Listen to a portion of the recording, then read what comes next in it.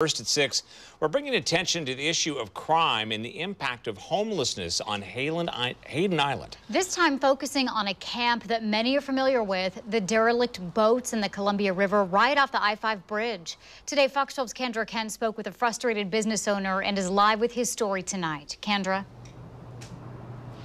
That's right, Nora. And normally we get the view from the shoreline or from even the I 5 bridge itself. Obviously, it's dark right now and you can't see much behind me, but the boats are out there in the water. And that business owner did give us that upfront look. We went out on a boat with him.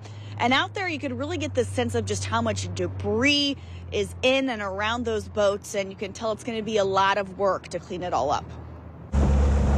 It's the infamous view along the Columbia River right next to the I 5 bridge.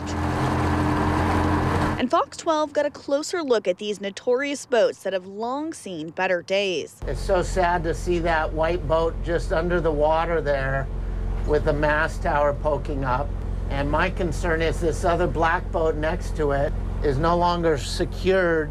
This up close tour courtesy of Kevin Flanagan, the owner of Schooner Creek Boat Works a boat building, maintenance, and repair shop located just downstream on Hayden Island. Since we're directly downriver, any spill or anything will end up in our bay, so we worry about that. And that's why Flanagan reached out to us with his frustrations, offering to take us out by boat to capture this perspective a growing homeless camp adjacent to the broken down and stripped out boats. Just a bad situation getting worse. He says these boats have sat here for years even as the white boat sank a couple months ago, and he's afraid the black one isn't far behind. If oils get onto the boats of our customers, we are responsible to clean them before we give them back to the customer. It's another stressor on top of what Flanagan already considers a tougher environment to do business. We've had radios stolen, dinghies off the boats stolen.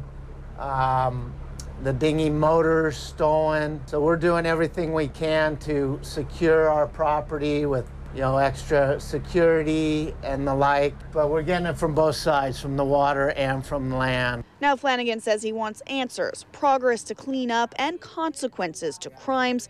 His message, the ripple effects from all of this are costly. Our reputation's at stake too, so we really want to make sure that people feel safe bringing their boats to Schooner Creek Boat Works. And we did speak with various agencies that are in charge of managing the waterways, boats, and also the shoreline. And we got our clearest answers today from the Coast Guard.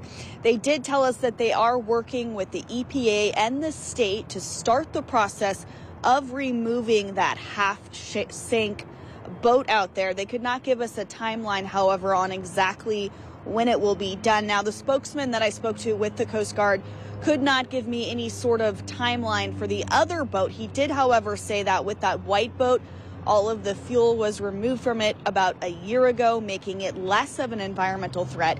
It's unclear if the fuel was removed from the black boat. Reporting live tonight in Vancouver, Kendra Kent, Fox 12 Oregon.